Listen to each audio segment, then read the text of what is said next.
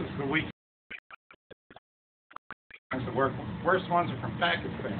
I don't know where this is from. Mm-hmm. Okay. The biggest problem with it is the neck guard. It cones on your chest and will slide right up into the pit of your throat. That's why in WEKAF competition they don't allow a stab. The next thing wrong with the throat guard is this ends up separating and coming off and you have to replace it with something. Okay?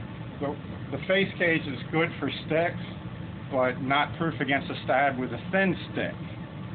And this can be exasperated by this. Since most people land forehands that tend to be downward, hmm you'll end up with separation in the bar there. Okay, so no admittance here for a thin stick, but it'll slide right through there. And of course for blades, this is completely inappropriate for blades, okay, because it'll go right through.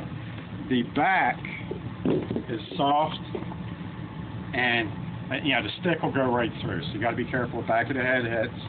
The, the spinal guard, I really think thing about it is the top of the head, hmm the ridge of the forehead, and the ear. This has got the best ear protection. Uh, the problem with our hockey-based helmets are poor ear protection. Okay, it's good for gear slobs that don't have to maintain their gear. Okay, it's real easy to maintain. Okay.